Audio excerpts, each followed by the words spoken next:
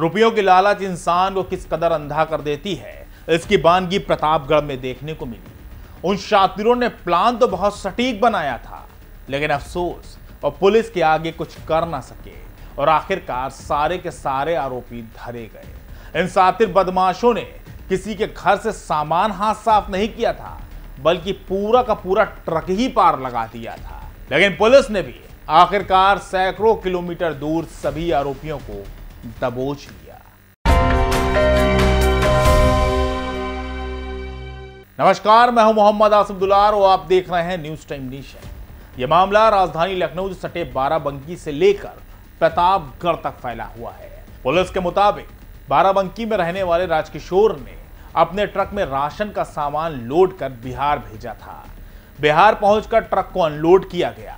और वहाँ से ट्रक में रिफाइंड ऑयल लोड किया गया और गाड़ी नागपुर के लिए रवाना हो गई। लेकिन ट्रक ड्राइवर महफूज ने तय रूट के बजाय दूसरे रूट से जाने की बात कही। लेकिन कुछ वक्त के बाद ही ड्राइवर का फ़ोन स्विच ऑफ़ हो गया।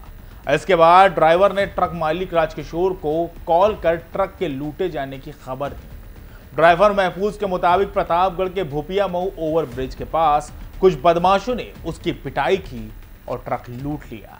तारीख को सुबह ये सूचना मिली थी कि हाईवे पे एक ट्रक लूट की सूचना ट्रक लूट की घटना हुई है। इस सूचना पर तत्काल प्रभाव से सीओसीटी हमारी एसओजी की टीम, सर्विलांस की टीम के द्वारा सभी तथ्यों की जाँच पड़ताल की गई। इसमें घटना संदिग्ध लगी, जिसके क्रम में जो ट्रक था उसका पूरा का पूरा आने जाने का रास्ता वो सारा चेक किया गया। काफ़ी अभी सूचना संकलन के आधार पर तीन अभियुक्तों को इसमें गिरफ़्तार किया गया है, जिनके द्वारा एक झूठी लूट की घटना बनाई गई।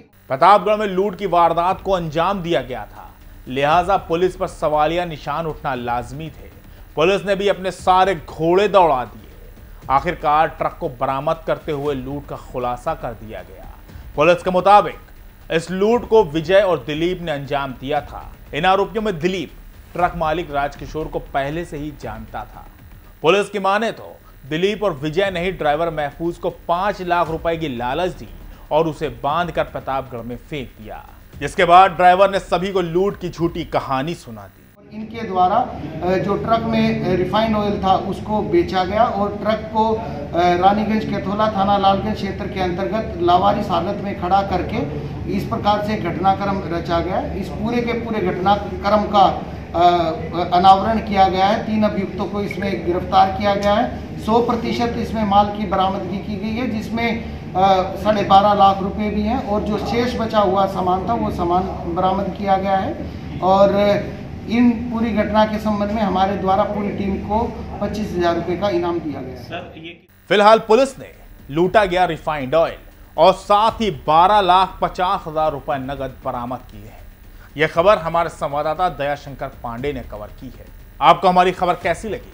इसके बारे में कमेंट सेक्शन में ज़रूर बताएँ। अगर आप हमारी खबर फेसबुक पर देख रहे हैं तो उसको लाइक और फॉलो करें। और अगर यूट्यूब पर देख रहे हैं तो सब्सक्राइब करके बेल आइकन ज़रूर दबाएँ। नमस्कार।